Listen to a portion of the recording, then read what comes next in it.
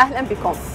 تبلورت ملامح إبرام صفقة وشيكة لتبادل أسرى ومحتجزين بين حماس والاحتلال وإعلان هدنة مؤقتة لوقف الحرب التي دخلت يومها السابع والأربعين على وقع قصف جوي ومدفعي عنيف في قطاع غزة. في وقت تتعالى فيه أصوات ناقدة من داخل الكيان لتعامل حكومة الحرب مع ملف التبادل إذ اعتبر بعض الصهاينة الصفقة إنجازا لحماس.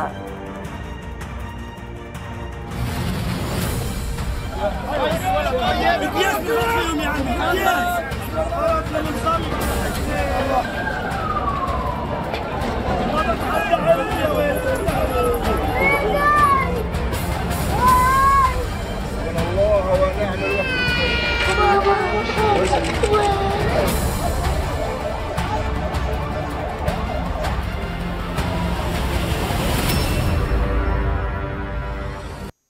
عقب أكثر من أربعين يوما من حربها المتواصلة على قطاع غزة وجد الاحتلال نفسه مضطرا للقبول ولو بهدنة مؤقتة على إثر التقارير التي تتحدث عن خسائر كبيرة في صفوف جنوده إثر التوغل البري في القطاع. ما دفع حكومة الحرب لإعطاء الضوء الأخضر لصفقة تبادل مع المقاومة. أما حماس فتؤكد من جانبها التوصل إلى اتفاق هدنة لمدة أربعة أيام مع الكيان يتم بموجبها وقف إطلاق النار مع الطرفين ووقف كل الأعمال العسكرية لقوات الاحتلال في مناطق قطاع غزة كافة مع وقف حركة آلياته العسكرية المتوغلة. في القطاع. حول الموضوع نرحب بالدكتور محمود سليم نقيب المحامين الفلسطينيين في الجزائر. أهلا بك معنا الدكتور محمود سليم. على ما يدل رضوخ الاحتلال لمفاوضات بعد مرور أكثر من أربعين يوما من العدوان على غزة. بسم الله الرحمن الرحيم والصلاة والسلام على أشرف المرسلين. أولا نترحم على شهدائنا في هذه المحرقة التي قام بها الكيان الصهيوني. الشفاء العاجل لمرضانا وجرحانا. الثبات والصبر لأهلنا في فلسطين. آه، المفروض يطبق غدا حسب آخر معلومات آه، وقف إطلاق النار لتبادل الأسرى ما بين غزة وبين الكيان الصهيوني. طبعا آه، بعد محاولات وبعد نقاشات وبعد لف ودوران وبعد كلام كثير حوالي شهر تقريبا تم هذا الاتفاق. آه، من الملاحظ أن هذا الاتفاق صحيح هو اتفاق لإخراج الأسرى من عندنا أو من عند الكيان لكن في الحقيقة أيضا أن هذا الكيان هو المستفيد من هذه الهدنة. آه لماذا؟ لأن الكيان الصهيوني آه خسر الكثير من الجنود يعني حسب آخر معطيات. وحسب ما قال أحد العقداء العسكريين في الكيان الصهيوني أن حوالي 3500 قتيل جندي آه، قتل من الكيان. آه، هذا عدد كبير جدا. آه، طبعا هم لا يصرحون بما قتل نعم. منهم خوفا من الداخل في الكيان الإسرائيليين وحتى يظهر أن هذا الجيش ما زال قويا وأنه قادرا على آه، تحقيق خسائر بالنسبة للفلسطينيين. آه، ونحن نعرف أنه آه، الكيان ضرب ضربة قوية يعني شغل صاعقة أو صدمة كبيرة نتيجة الضربة الأولى في 7 أكتوبر. فيحاول بقدر الإمكان أن يغطي هذا العمل أو الهزيمة بالكذب والنفاق. ونحن نتوقع أن أن المعلومات في هذا الوقت في الأربع أيام نعم. المقترحة لتبادل الأسرى أن يكتشفوا آه، الحقائق المدهشة التي قامت بها المقاومة الفلسطينية في دحر هذا العدوان. طبعا آه، في كثير أيضا من مغالطات. الكيان آه، دمر قطاع غزة. نعم. قتل حوالي 14 أو أكثر حوالي ممكن يوصل حتى 15 ألف قتيل أو شهيد الآن. آه المصابين حوالي 47 ألف. يعني عدد كبير جدا. آه دمرت أكثر من 60% من مباني قطاع غزة. بالإضافة إلى البنية التحتية من ماء غذاء دواء كل شيء دمر. آه يعني مصيبة كبيرة حقيقة. واجهها الشعب الفلسطيني. ولكن الكيان من اليوم الأول كان يريد وقف إطلاق النار ومن طبيعة الكيان آه، أن يحاول أن يحول الهزيمة إلى نصر عن طريق المماطلة أو عن طريق عدم الموافقة على وقف إطلاق فوري آه، حتى يبرز أنه هو الرافض وأنه يريد أن يكمل عدوانه وأن الفلسطينيين هم الذين يماطلون. لكن لكن في هذه النقطة الدكتور سليم ربما صمود الفلسطينيين والغزاويين على وجه الخصوص وصمود حتى المقاومة على أرض الميدان طيلة 47 يوما. ربما هذا ما دفع المحتل الصهيوني أيضا إلى القبول بهذه الهدنة. أليس كذلك؟ طبيعي. هذا أكيد. لأنه آه، الكيان كان يتوقع أن الحرب تكون سهلة. لغاية الآن لم يتمكن من دخول وسط قطاع غزة المركز. طبعا غزة هي كلها آه، آه، كيلومتر. أو الكيان الآن يحيط بالمنطقة الشمالية على على حواشي أو غلاف غزة. من جهة البحر. هم مسيطرين عليه. من جهة الشمال حدودهم مع فلسطين أو غزة. ومن جهة الشرق. فكل محاولاتهم كل عملياتهم في غلاف غزة. لم يدخلوا وسط غزة. لأنهم يعرفون جيدا أن وسط أن المقاومة آه، آه، مقاومة الأساسية والرئيسية هو آه، اعتماد على حرب الشوارع وحرب المدن التي لم يتمكن منها الكيان. لذلك كل نحن هم دمروا okay قتلوا okay ولكن يدخلوا قطاع غزة في الوسط لأنهم يخافوا الحرب الحرب الشوارع. غير مهيئين لهذه الحرب. هم مهيئين طائرات مدافع من البحر من الجو من البر صواريخ تدمير. 35 ألف طن تقريبا آه، طيب وضحت الفكرة الدكتور محمود سليم دعنا نشرك عبر سكايب في هذا النقاش. آه، الدكتور جهاد حرب المحلل السياسي من رام الله. أهلا بك معنا الدكتور جهاد. أهلا وسهلا مساء الخير لك ولضيوفك الكرام. أهلا وسهلا. الدكتور جهاد الحديث اليوم عن هدنة إنسانية في قطاع غزة تدخل حيز تنفيذ يوم غد بعد قبول الطرفين حماس والمختل بشروط هذه الهدنة وبالتالي كيف سيتم تنفيذ شروط هذا القرار؟ ومن هي الجهة المعنية بالتنسيق على الأرض؟ وهل من ضمانات لتحقيق ذلك برأيك؟ دعينا أقول أولا هذه هدنة بمعنى وقف إطلاق نار لمدة أربعة أيام وقد تتمدد لعشرة أيام وفقا لتطورات الحالة.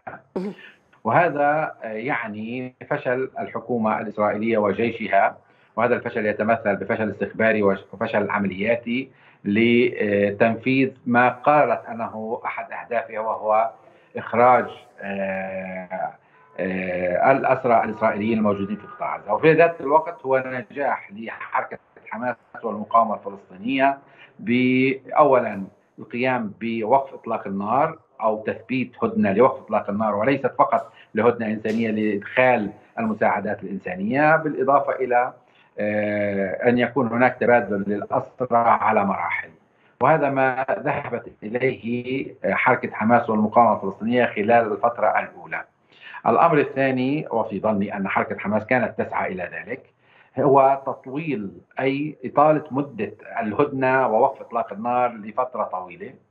آه، كانت تسعى لسبعة أيام ومن ثم بدأت النقاشات اليوم أربعة أيام واحتمال أن تكون عشرة أيام إذا ما تم إطلاق سراح بعض الأسرى الإسرائيليين. وهذا يعني أولا أن جنود الاحتلال الإسرائيلي سيكون إضعاف سيتم إضعاف الروح القتالية بين قوسين لجنود الاحتلال الإسرائيلي سيكون في دباباتهم وفي معسكراتهم. الأمر الثاني أن المجتمع الإسرائيلي سيزيد من الضغط على الحكومة الإسرائيلية لمزيد من تبادل الأسرى وإخراج الأسرى الإسرائيليين وصولا لإنهاء ملف الأسرى. وهناك شعار في إسرائيل آه، يذكر بشكل واسع وكبير الجميع مقابل الجميع أو الكل مقابل الكل. أي أسرى إسرائيليين جميعهم مقابل الأسرى الفلسطينيين جميعهم. بالإضافة إلى أن آه، المجتمع الدولي آه، في ظني سيضغط لوقف إطلاق النار وإنهاء الحرب القائمة. وفي هذه جزء من التصريحات التي تم الإعلان عنها اليوم من قبل رئيس الموساد الإسرائيلي بأن الولايات المتحدة الأمريكية تضغط لوقف الحرب لما سببته من أضرار كبيرة على الحكومة الإسرائيلية. لكن أريد أن أقول أيضا بأن هذه الهدنة أو وقف إطلاق النار تشير بوضوح أن إسرائيل لا تفهم إلى لغة القوة. ولغة القوة التي استخدمت في عام 2000 لانسحاب إسرائيل من آه، لبنان من الجنوب اللبناني. ولغة القوة التي تمت في عام 2005 ادت إلى انسحاب إسرائيل من قطاع غزة. والقوه أيضا أو استخدام القوة في عام 2023 على الرغم من التضحيات الجسام للشعب الفلسطيني والتدمير الهائل كما ذكر قبل قليل آه، ضيفك الكريم آه، في ظني أن إسرائيل اليوم آه، سيكون ستكون متراجعة عما كانت عليه في الأيام الفارطة أو السابقة. وهذا تحول في مسرى أو مجال في مسار الحرب القائمة بين الفلسطينيين والإسرائيليين. طيب تفضل بالبقاء معي الدكتور جهاد حرب. الدكتور محمود سليم هذا المسار مسار التفاوض والهدنة وصفه نتنياهو بالقرار الصعب لكنه الصحيح. كيف سيكون وقعه على الداخل الصهيوني؟ على اعتبار أن الجيش لم يحقق أي إنجاز بالتوصل إلى ربما تحقيق عسكري والتوصل إلى تحرير أسراه ومحتجزيه لدى المقاومة وبالتالي هذه المقايضة ربما وضعت المحتل وأضعفت من موقفه أمام الداخل الصهيوني وأمام ربما حلفائه الدوليين. آه، بالتأكيد آه، نتنياهو الآن في ورطة كبيرة لأنه منذ بداية الحرب وضع يعني آه، شروط كبيرة جدا القضاء على المقاومة الفلسطينية القضاء على البنية التحتية القضاء على كل مقومات الحياة في فلسطين. وضع يعني شروط كبيرة. عندما أصبحت الحرب يعني واضحة آه، لاحظ أن هذه الشروط أو النتائج أو آه، ما يريد أن تحققه لم لم يستطع أن يحقق شيئا منها وخاصة الأسرى. طبعا الأسرى في منهم مدنيين في منهم عسكريين. الشرط الأول منذ البداية المقاومة الفلسطينية كانت تريد أن تبيض السجون الإسرائيلية طيب استسمحك الدكتور محمود سليم على المقاطعة. دعنا نرحب عبر الهاتف آه، بممثل حركة حماس بالجزائر يوسف حمدان. أهلا بك معنا الأستاذ يوسف حمدان. اذا بالحديث عن هذه الهدنة التي ستدخل حيز التنفيذ يوم غد. كيف سيتم تنفيذ شروط هذا القرار؟ ومن هي الجهة المعنية بالتنسيق على الأرض؟ بسم الله الرحمن الرحيم. تحية لك ولضيفك الكريم دكتور محمود وللسادة المشاهدين. آه نعم آه الاتفاق فيه مجموعة من المسارات. المسار الأول هو وقف العدوان على شعبنا الفلسطيني بمعنى إيقاف آه تحليق الطائرات فوق قطاع غزة وإيقاف أيضا استهداف آه المدنيين والعمليات العسكرية من قبل العدوان العدو الصهيوني. المسار الثاني يتعلق بفتح معبر رفح وإدخال المساعدات الإنسانية. وهو فتح مؤقت بالمناسبة ضمن الاتفاق الهدنة المؤقت. المسار الثالث هو يتعلق بالتبادل المدنيين الأسرى والنساء والأطفال من الطرفين الحديث عن 50 مقابل 150 من من ممن لدينا عند سجون الاحتلال. وهؤلاء معظم الخمسون من المدنيين ومن جنسيات مختلفة أجنبية يعني غير إسرائيلية. هذا الاتفاق لديه أطراف تتدخل فيه. قطر اشتغلت على هذا الملف لأيام طويلة. وأيضا مصر موجودة في هذا لأن هي جزء من أيضا آه، جغرافيا جيوسياسية وبالتالي يتعلق بمعبر رفح وإدخال المساعدات وإلى آخره وعلاقه مصر بالقضية الفلسطينية علاقة ليست جديدة وبالتالي آه، سواء كان في علاقتها مع الاحتلال وفي علاقتها مع الشعب الفلسطيني. أيضا الولايات المتحدة الأمريكية التي تشرف على المعركة منذ السابع من أكتوبر سواء كان بالسلاح وبالمال وبالخطه السياسية وأيضا بالإدارة العسكرية من داخل الكيان يجب أن نتذكر أن هذا هذا الاتفاق ما ما كان ليكون اتفاق الهدنة اللي هي استراحة محارب والتقاط انفاس ما كانت لتكون لولا صمود شعبنا الفلسطيني البطل الذي سطر هذه اللوحة من ملاحم البطولة والفداء والصمود والثبات. وأيضا بطولة المقاومة الفلسطينية وكتائب الشهيد عز الدين القسام التي استطاعت أن تكبد العدو الصهيوني وتحول مغامرة دخول قوات الاحتلال إلى قطاع غزة فرصة لتكبيد العدو الصهيوني أثمان باهظه لا يستطيع على تحمل آه، تبعاتها. ولذلك الحديث عن الوصول إلى الاتفاق هو ناتج لهذه العوامل وليس ناتج لقرار جامعة الدول العربية بإيقاف العدوان وليس ناتج لقرار مجلس الأمن بإيقاف العدوان، بالتالي هناك مصلحة إسرائيلية صهيونية لهذه الهدنة لإجلاء جنوده لمركباته التي كبد بها في قطاع غزة بخسائر وأيضا هناك تراجع للسردية الصهيونية في الرأي العام وهناك إدراك من نعم نعم نعم الأستاذ يوسف في هذه النقطة هل هذه ربما المصالح الصهيونية من هذه الهدنة ستلزم المحتل الصهيوني اليوم إلى تنفيذها دون ربما أي خروقات؟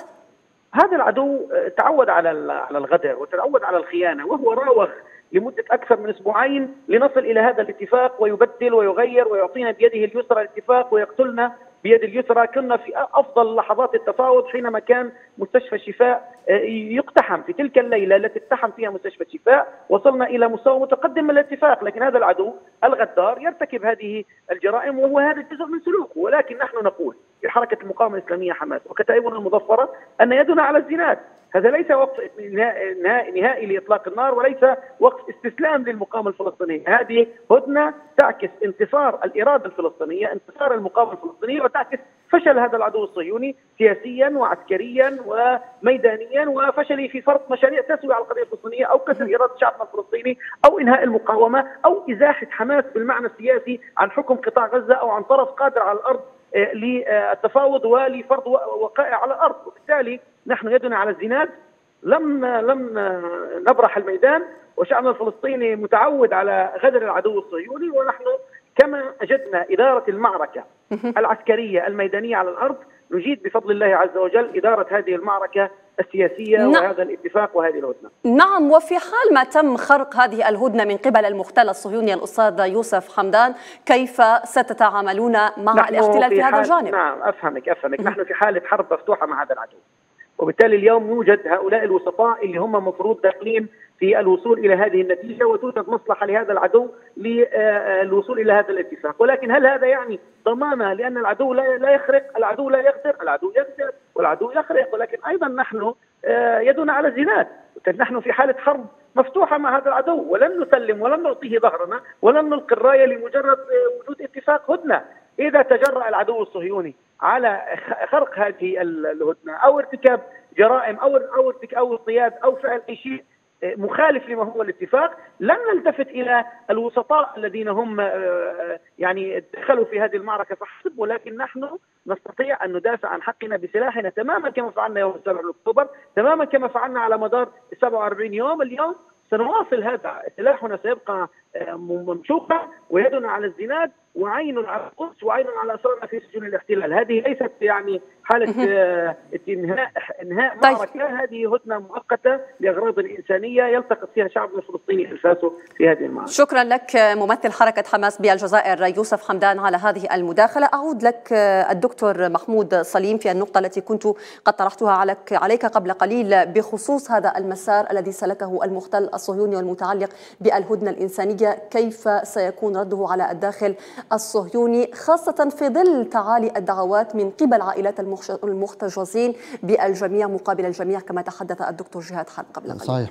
آه، هو الكيان كما قلت سابقا آه، طبيعي آه، الهدنة تصب لصالحه هو عنده مصلحة في الهدنة لأن كما قلت لم يستطع أن يحقق أي هدف عسكري أو أي نصر عسكري.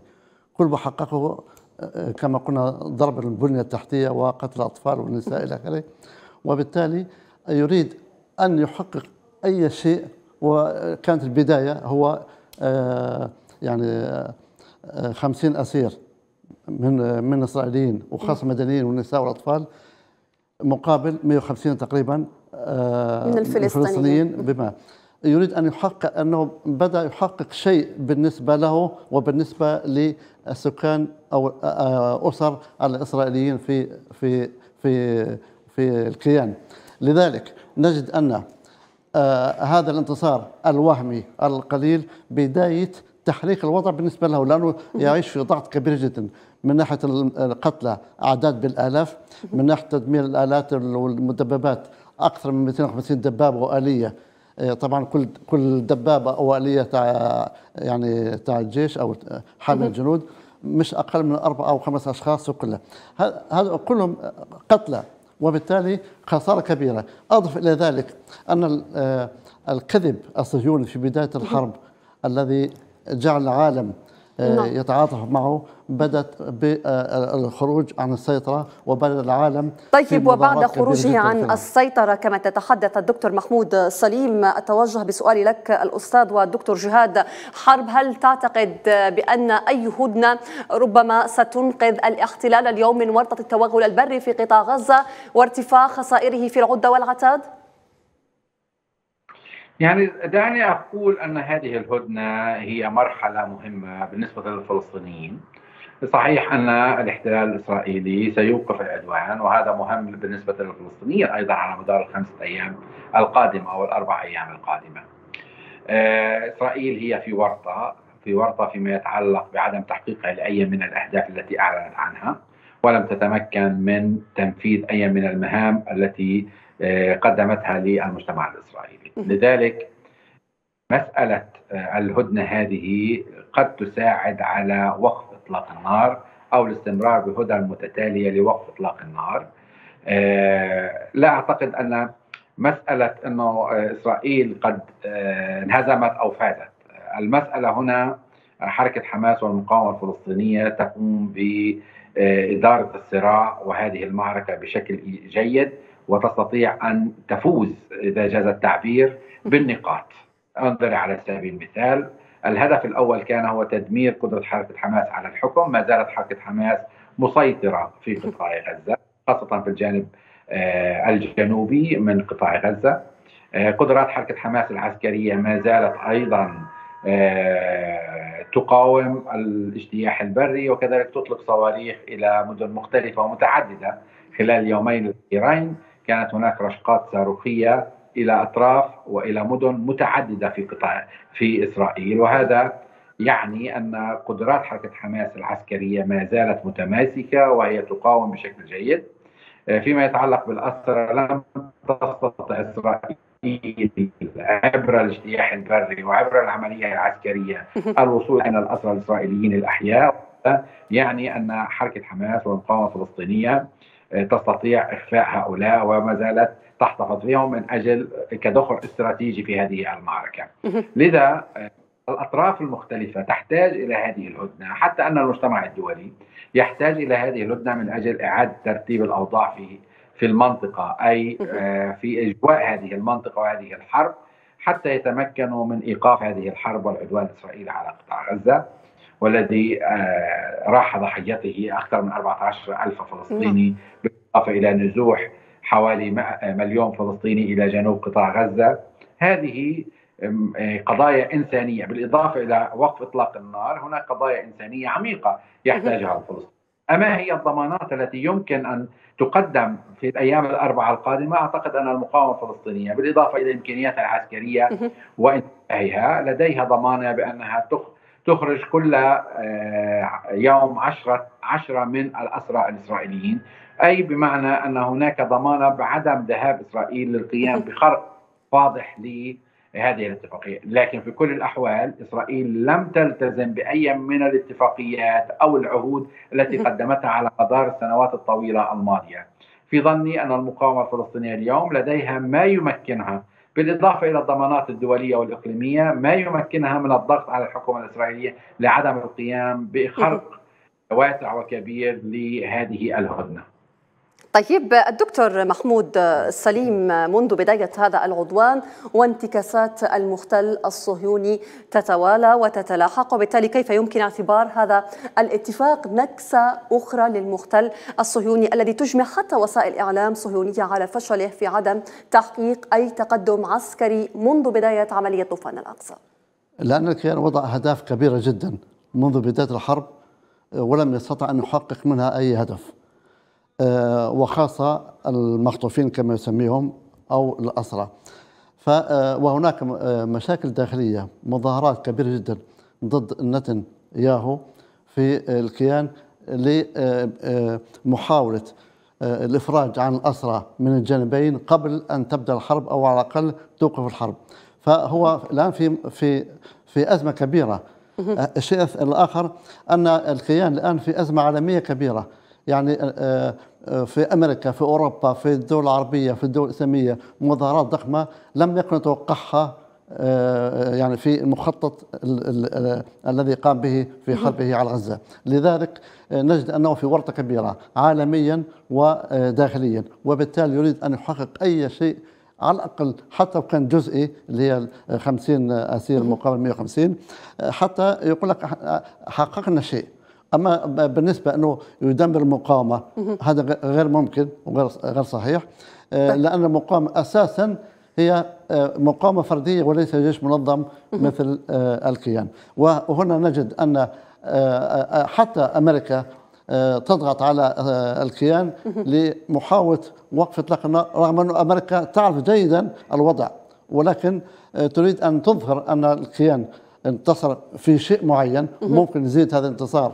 كما قال الدكتور على أساس إنه يزيد يعني فيما بعد يزيد يعني اخراج الاسرى نعم. من فلسطين ومن الكيان الصهيوني أو طيب. تبييض السجون كما يقال على أساس إنه ممكن فيما بعد أن يتطور هذا الوقف المؤقت آه، اللي حاصل الآن إلى أو إلى أوقات أكبر أو إلى مدة أكبر طيب وضحت الفكرة الدكتور محمود سليف نفضل بالبقاء معي رفقة الدكتور جهاد حرب. نواصل هذا النقاش مشاهدينا بعد فاصل قصير.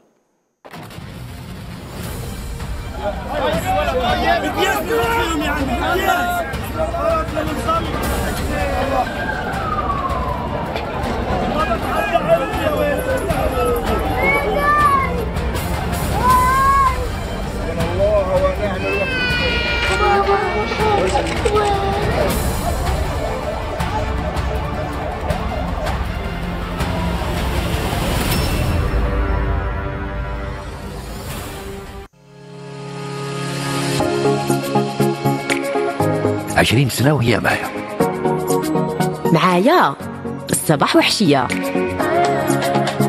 معاها م connecté بزاف وديما. 20 الهضرة و SMS غير محدودة نحو كل الشبكات و80 جيجا إنترنت صالح 30 يوم ب 2000 دينار برك. مع 20 أهدر و connecté موبيليس معا نصنع المستقبل.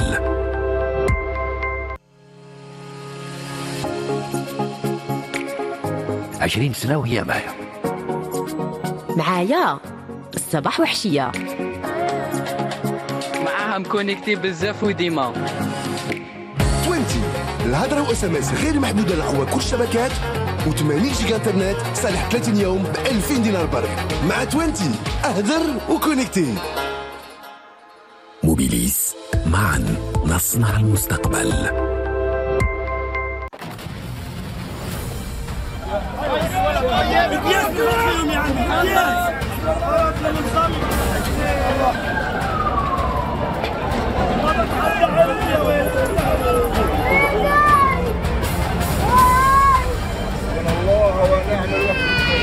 الوكيل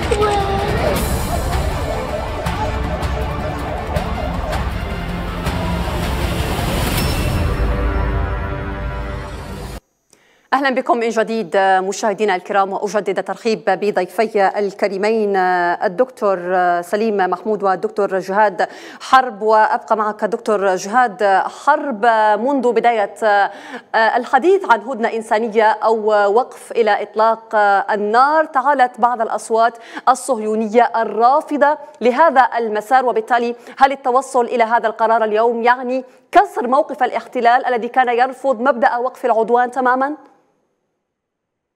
يعني اولا آه، هناك نقاش آه، حاد في إسرائيل حول التوجه لوقف إطلاق النار أو هذه الهدنة المحدودة المدة. آه، لكن هناك أيضا أغلبية في مجلس الوزراء الإسرائيلي للقيام بهذه الهدنة خاصة أنها مدعومة من المؤسسة الأمنية في إسرائيل والتي أشارت بوضوح إلى فشلها وتحملها مسؤولية الفشل عن ما جرى يوم السابع من أكتوبر وما تلا ذلك من فشل عملياتي وأيضا في النظريه السياسيه أو في الرؤية السياسية الأمنية للصراع الفلسطيني الاسرائيلي.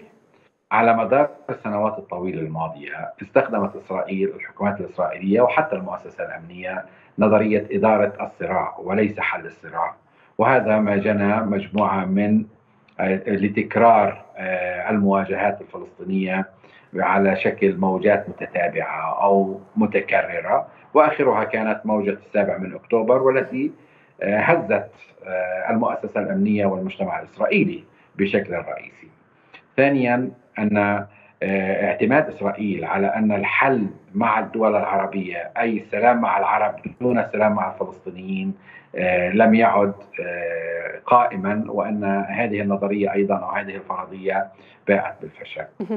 بالتالي آه، إسرائيل ما بعد هذه الحرب في ظني أنها ستغير اولا في التركيبة السياسية للأحزاب السياسية الإسرائيلية في الكنيسة القادمة نتيجة انتخابات قادمة بعد فشل نتنياهو المتكرر والدمار الذي خلقه نتنياهو للمجتمع الإسرائيلي. والأمر الثاني أن النظرية السياسية الأمنية تحتاج إلى إعادة نظر من قبل السياسيين الإسرائيليين باتجاه مسار جديد وهو مسار ربما يفرضه المجتمع الدولي لإنهاء الاحتلال الإسرائيلي. أي مسار قائم على الحقوق وليس على الاستقرار والأمن إنما على السلام الذي يأتي بالأمن وليس الأمن الذي يأتي بالسلام. حتى يتمكن أو تتمكن هذه المنطقة بالعيش بسلام واستقرار وأمن وازدهار. آه وهذا يتطلب من الفلسطينيين أيضا ومن الدول العربية أو من العالم العربي توحيد جهودهم وإنهاء أي خلافات قائمة خاصة بين الأطراف الفلسطينية وإنشاء حكومة إنقاذ وطني تساعد على إعادة الإعمار وعلى إجراء انتخابات للشعب الفلسطيني انتخابات عامة تحدد هذه الانتخابات من يقود الشعب الفلسطيني ومن هو مقبول من قبل الشعب الفلسطيني لأن أي إدارة أو حكومة فلسطينية يجب أن تكون مقبولة من الشعب الفلسطيني ومن فصائل الشعب الفلسطيني والانتخابات هي أحد أدوات القوة ربما خلال الفترة القادمة حتى يكون الفلسطينيون على الطاولة في برنامجهم مقترحاتهم وسيناريوهاتهم والا تفرض أي من المقترحات أو السيناريوهات التي يقدمها العدو الإسرائيلي أو الإدارة الأمريكية. هذا متطلب ضروري وإجباري. الانتصار أو المواجهة الفاعلة التي قامت بها المقاومة الفلسطينية والتضحيات الجسام الذي قدمها الشعب الفلسطيني تحتاج إلى انتصار داخلي فلسطيني يساند الفلسطينيين على أي مواجهة سياسية مستقبلا. طيب الدكتور سليم محمود إذا بالتزامن مع هذه الهدنة كان هناك ربما تصعيد صهيوني في قطاع غزة وبالتالي ما هي قراءتكم للوضع؟ طبيعي أنا قلت إنه الكيان مهزوم نفسيا ومهزوم عسكريا فأراد أن يظهر للعالم وخاصة للشعب الإسرائيلي في داخل إسرائيل بأنه ما زال قوي وبأنه ما زال يفرض سيطرته وانه آه، يدمر ويقتل. وهذا كله آه، نوع من يعني آه، اللامبالاه أنا في نظري إنه هو خاسر. وهو الحرب لم يستطع بعد 47 يوم أن يحقق أي نصر له قيمة. وبالتالي بده يظهر إنه والله ما زال قوي وما زال في يعني يقدر يدمر ويقتل ويضر هذا كله يعني لإرضاء شعبه أو على الأقل يظهر لشعبه أنه ما زال قوي وما زال منتصر. فالحقيقة أنه عكس ذلك لأنه هو من أراد الهدنة وإن كان لم يعلن عنها وهناك طبعا تنسيق بينه وبين الولايات المتحدة الأمريكية. أمريكا تعرف حجم المعاناة التي يعانيها الكيان عسكريا وداخليا وسياسيا وحتى عالميا. آه، آه، الرئيس بايدن صرح بأن آه، أمام آه، الكيان أسبوع أو أسبوعين أقصى شيء حتى يغير أو حتى يحقق نوع من الأهداف التي أعلن عنها، لم يحقق أي شيء، وبالتالي بدا الاتجاه العالمي يميل لصالح القضية الفلسطينية، هناك دول آه، أعطي مثال في أثناء الغارات الكيان في قطاع غزة يقتل الأطفال. ومع ذلك آه، رب العائلة أو أم العائلة يموت أربع خمس ست أطفال أو العائلة كلهم ويقول لك الحمد لله. آه، آه، حار الشعب الأوروبي بصفة عامة. لماذا يقول الحمد لله؟ وإيش إيش مقصود وهذا جعل الكيان في أزمة أزمة أخلاقية. لأنه آه، معناته الحمد لله أنه إحنا آه، نقبل قضاء الله وقدره. ونحن آه، فداء فلسطين ولن نخرج من فلسطين. وهذا هذا الكلام جعل كثير من الأوروبيين والغرب في أمريكا يبحثوا ما هو المقصود في القرآن الكريم. لذلك نجد الآن كثير غيروا مواقفهم من صالح الكيان إلى صالح الفلسطينيين في هذه المعركة. وبالتالي هناك كثير من الأشخاص آه، آه، بدأوا يدرسوا القرآن وأسلموا. وكانوا كانوا مخدرين. بأن الديمقراطيه وحقوق الإنسان هي فقط في الغرب ولكنهم كانوا الصبر والصمود الغزاويين أبهر العالم وهو ما ربما مال الكفة لصالح القضية الفلسطينية. الدكتور جهاد حرب إذا بنظر إلى هذا التصعيد الذي آه، الذي ربما كان بساعات آه، فقط قبيل دخول هذه الهدنة حيز تنفيذ وبالتالي ما تقديراتكم لما سيجري خلال هذه الساعات القادمة؟ يعني عادة وفقا للتجربة بالحروب السابقة. وقف إطلاق يكون هناك العديد أو الكثير من آه، القيام بعمليات آه، ل آه، القيام بعمليات أو هجومات إسرائيلية واسعة على قطاع غزة. وهذا صار أن كل طرف من الأطراف يريد أن يسجل نقاط وأنه هو المنتصر آه، عند وقف إطلاق النار. لذلك آه، نحن آه، نتوقع بأن تشتد هذه الليلة أيضا هجمات الاحتلال الإسرائيلي وعمليات القصف والقتل الإسرائيلي للفلسطينيين حتى يقول أنه هو الذي يفرض الأمر الواقع. بمعنى آخر أن اللحظات الأخيرة عند كل هدنة أو وقف إطلاق النار يريد الاحتلال الإسرائيلي القول بأنه يد هو اليد العليا وهو الذي يقرر في مسألة آه، المواجهة ووقفها أو تقديم هدنة أو آه، التعاطي مع هدنة وفي ذات الوقت حركة حماس على مدار السنوات الماضية أو الحروب الماضية كانت تطلق رشقات واسعة وكبيرة في اللحظات الأخيرة حتى تقول أيضا بأنها هي التي تقرر هذا الأمر. لذا نعتقد بأن هذه الليلة ستكون ليلة صعبة على قطاع غزة إلا إذا كان هناك تدخل واسع وكبير من الدول الراعية لهذا الاتفاق حتى يكون هناك هدوء أو التقليل من الهجمات الإسرائيلية وعمليات القتل للمدنيين الفلسطينيين التي يقوم بها الاحتلال الإسرائيلي في عدوانه الأخير. طيب وبخصوص الأيام آه، المخصصة لهذه الهدنة الدكتور جهاد حرب كيف ستستغل المقاومة هذه الهدنة لإعادة ترتيب صفوفها وتخصب لاستمرار العدوان الصهيوني أو أي خرق منه لهذه الهدنة؟ يعني آه، المقاومة الفلسطينية تأخذ في الحسبان أن الاحتلال الإسرائيلي سيخترق أو ربما سيخترق آه، هذه الهدنة. بالتالي هناك استعداد من الواضح وفقا لما سمعناه ورأيناه في آه، المطالب وفي الشروط لهذه الهدنة. على سبيل المثال هناك وقف للطيران الإسرائيلي في شمال قطاع غزة بين الساعة العاشرة صباحا والساعة الرابعة عصرا. وهذا لتمكين المقاومة الفلسطينية من جمع آه، آه، الأسرى الإسرائيليين وترتيب أوراقها في هذا الصدد. آه، أما يمنع أيضا التحليق الحربي في جنوب قطاع غزة من قبل الاحتلال الإسرائيلي. هذه محاولة لمنع استغلال إسرائيل الحصول على معلومات استخبارية في قطاع غزة خاصة على الجانب العسكري. في ظني أن الاستعداد الواضح من قبل المقاومة الفلسطينية ومنع إسرائيل آه، من استغلال هذه الهدنة. آه، هي محاولة أو هي أحد أدوات المقاومة الفلسطينية لإعادة أوراقها ما زال الفلسطينيون قادرين على القيام بهذا الأمر خلال الفترة القادمة. نتيجة الاستعداد والتحضير من المقاومة الفلسطينية في في هذه المواجهة طيب آه، الدكتور محمود آه، سليم آه، برأيك نحن اليوم أمام أربعة أيام من الهدوء. كيف أو ما هي مآلات هذا العدوان الصهيوني على قطاع غزة بعد انتهاء هذه المهلة وانتهاء أيام الهدنة؟ بالنسبة لكيان كما قلت سابقا يحاول أن يفرض رأيه أو سيطرته بأي بأي نتيجة. هذه الأربع أيام هي اختبار ولذلك كانت المقاومة بصفة عامة حذرة في تطبيق هذا الاتفاق آه، في تبادل الأسرى كان ممكن تبادل الأسرى 50 واحد في اليوم أو يعني مرة واحدة ولكن آه، الكيان يريد أن يعرف أين أماكن هؤلاء الأسرى حتى يستغلها فيما بعد ربما بعد الأربع أيام. ويريد أن يعرف أماكنهم. المهم يريد أن يعرف أي تفاصيل خاصة بالأسرى نعم لكن هو إلى غاية هذه اللحظة لم يتمكن من العثور على مكان يتمكن. الأسرى وبالتالي لجأ وربما إلى هذه الصفقة وإلى هذه الهدنة. وبالتالي هل تتوقع تصعيدا أكثر مما شهدناه من قبل بعد انقضاء هذه الهدنة؟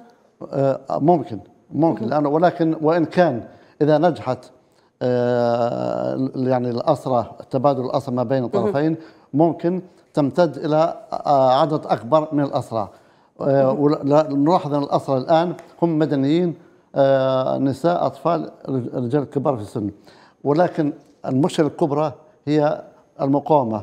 تقول أن تبييض السجون الإسرائيلية من الأسرى الفلسطينيين مقابل آه، ال- الجنود الإسرائيليين الموجودين عند المقاومة حوالي 240 آه، أسير. هذا شيء معروف. وهذه لابد أن تكون آه، شاملة. يعني آه، آه، نفرج عن أسرى الكيان مقابل الأسرى الفلسطينيين.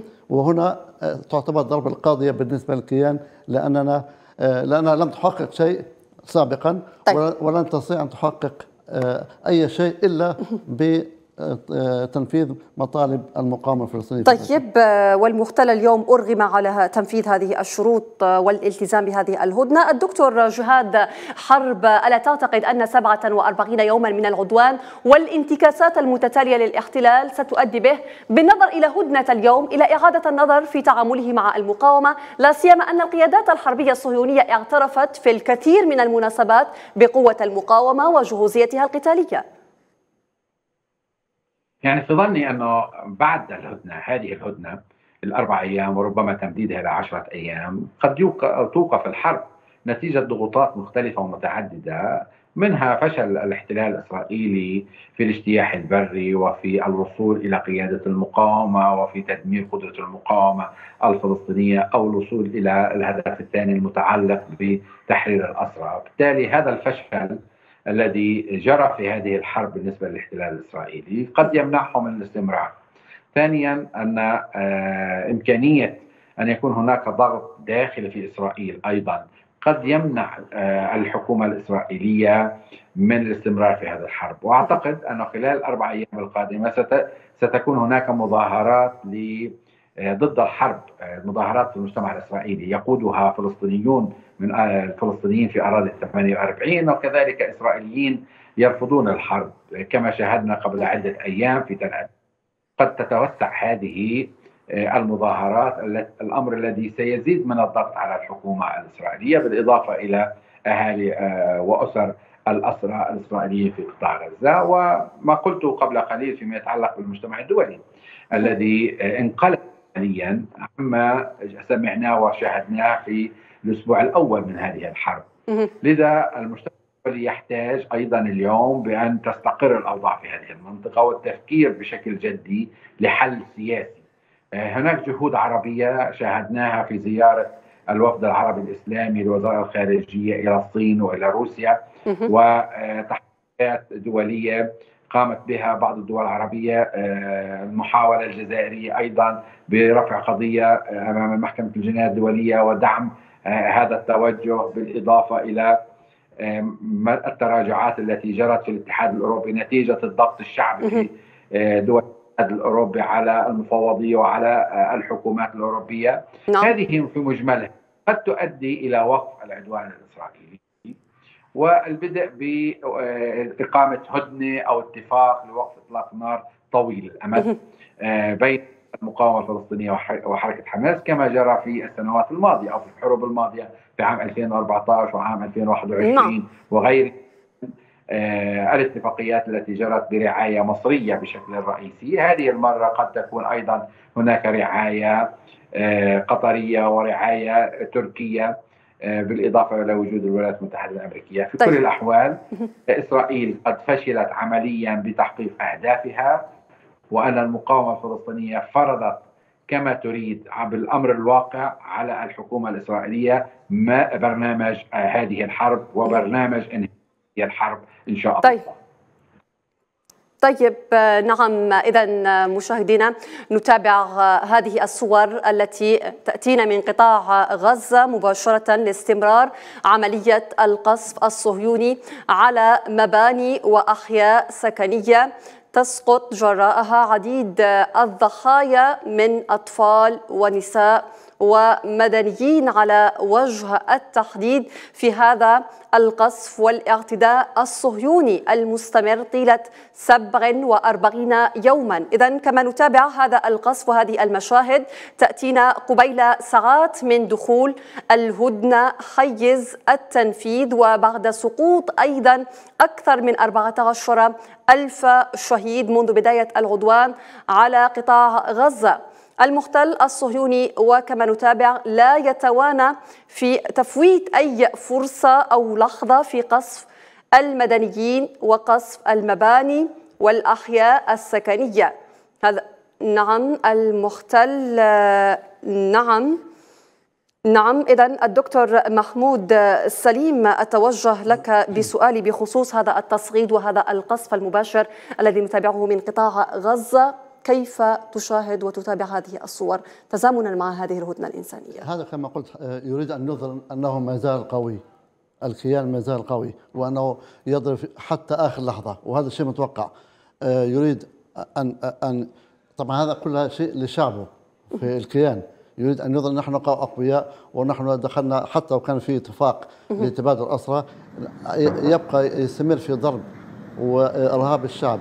وتدمير البنية التحتية في غزة حتى يظهر ظاهريا بأنه ما زال قوي وبأنه يسيطر على لكن حتى الداخل الصهيوني الدكتور محمود سليم يطالب بوقف هذه الإبادة في قطاع غزة.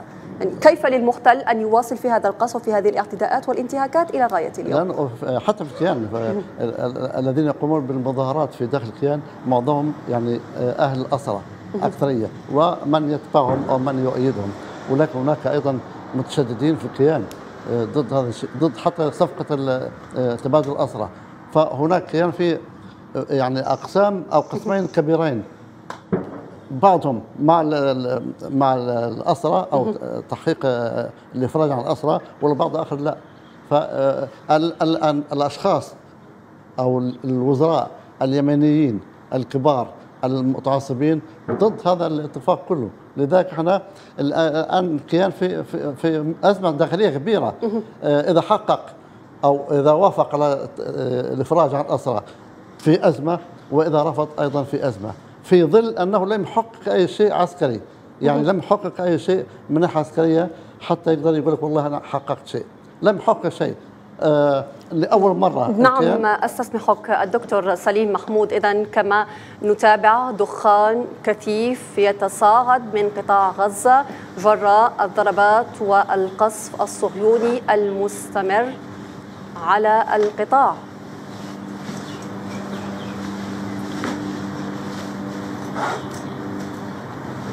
المحتل الصهيوني اذا يواصل ضرباته في الأحياء السكنية ويستهدف المدنيين بشكل مباشر يستهدف المستشفيات يستهدف المدارس لم يترك مكانا آمنا في قطاع غزة. اذا هذا المحتل الذي أسقط وقتل إلى غاية هذه اللحظة أكثر من 14 ألف شهيد يواصل في ارتكاب جرائمه ومجازره قبيل ساعات من دخول الهدنة حيز التنفيذ.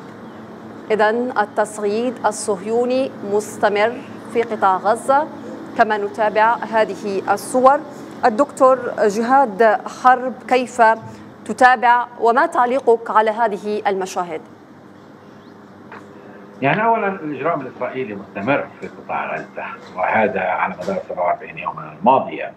وهذا آه، يعني ديدن الاحتلال الإسرائيلي في استمرار قتل الفلسطينيين وتدمير البنى التحتية والمنازل والأبراج السكنية للفلسطينيين وتدفيع ثمن غالي للفلسطينيين كما يعتقد هو في الوقت الذي يرى الفلسطينيون أن التضحية والفداء هي أحد أدواته للوصول للحرية والاستقلال آه، والازدهار ومواجهة وإنهاء الاحتلال الإسرائيلي.